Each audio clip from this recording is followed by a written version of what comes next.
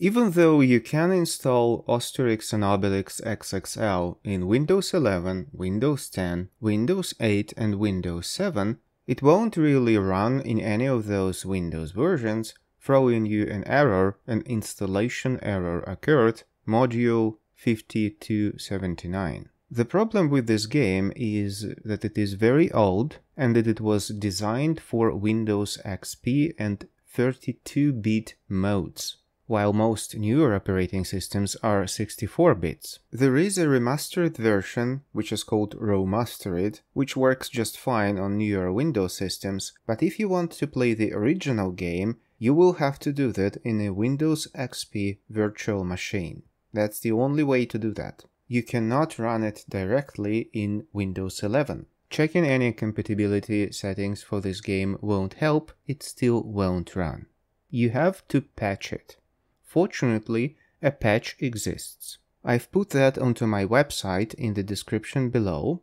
You can click and follow the link, wait until you will be redirected to Google Drive, and please note that I'm showing this while not being logged into Google Drive. Google has recently changed the security policies for Google Drive, rendering many of old links inaccessible until the owner of those links will change them so in this case I made every effort so the files will be accessible. Here you can see three files, two of them are patches and these are zip archives and one of the files is a text file called password. And this is the password for the archives. The reason I had to pack those files with a password is because for some reason some antivirus software like inbuilt antivirus in Google Drive inbuilt antivirus in Google Chrome and similar browsers, and inbuilt antivirus in Windows, which is Windows Defender, consider those patches to be a virus,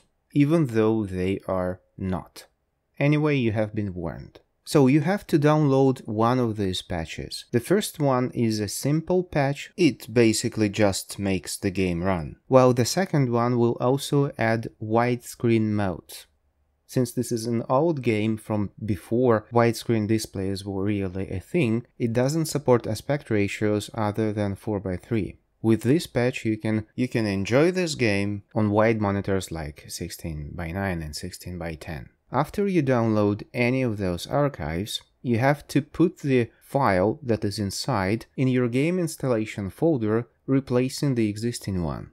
Depending on your game, its installation folder will be either in program files or in a separate games directory. Anyway, if you try to drag the file from the archive to the directory, there will be an unexpected error.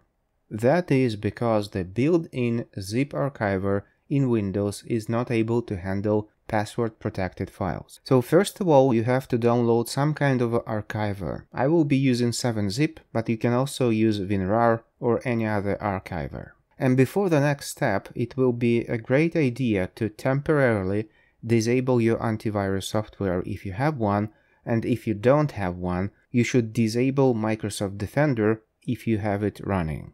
So use 7-zip to unzip the file with the password and as soon as you unzip the file, just drag it replacing the existing one in the game directory. You may be asked for an administrative privileges, click on that.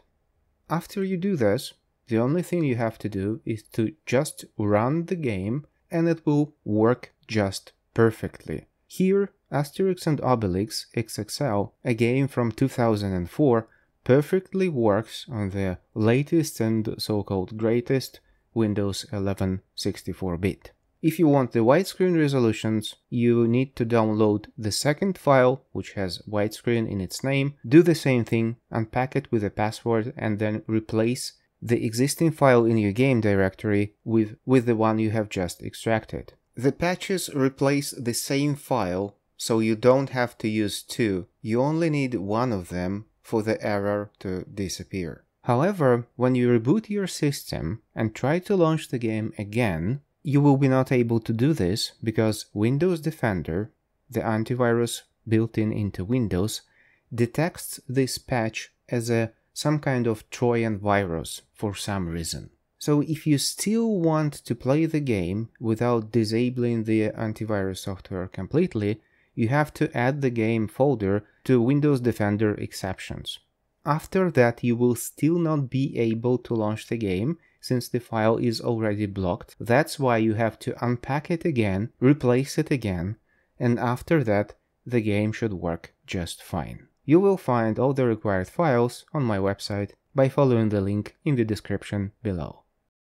I am the god of YouTube. Like, subscribe, thanks, jingle bells.